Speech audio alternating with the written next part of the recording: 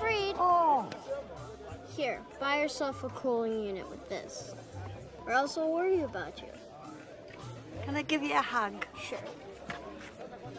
Oh, I miss you, Annie. You're the kindest boy in the galaxy. You take care. Okay, I will. Bye.